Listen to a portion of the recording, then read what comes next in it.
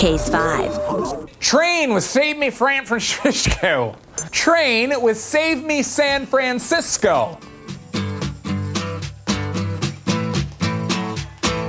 If you are a bride and you are texting your ex on your wedding day, perhaps nuptials are not for you. It'd be like, cool, what do you expect me to do? Chase after you across the country, make a music video, and then try to break up your wedding? Is that what you want? No. Just wait to be husband number two. Used to love the tenderloin till I made some tender coin.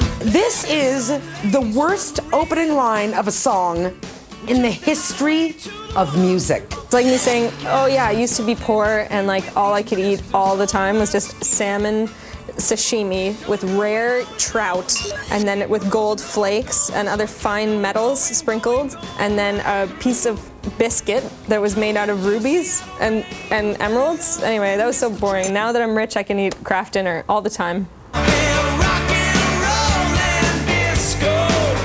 You know what? Train is my guilty pleasure.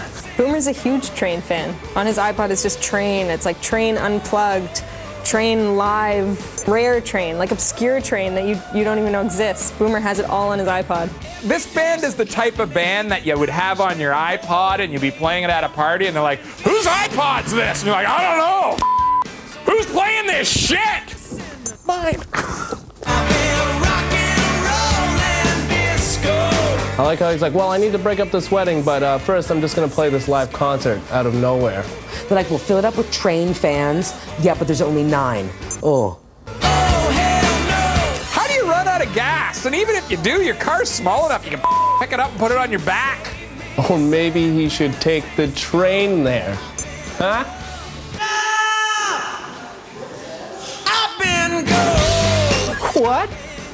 What is he doing here? It's not like I just texted him 12 minutes ago saying I'm getting married to make him jealous. what a weirdo. Of course he showed up. You texted the guy from Train. The guy from Train is the most intense man in the world. Like, I texted him once just because I wanted to know which Harry Potter movie to rent. He got on a plane, he flew to Toronto, he came into the movie store, and he was like, no! Just as I was about to rent Chamber of Secrets.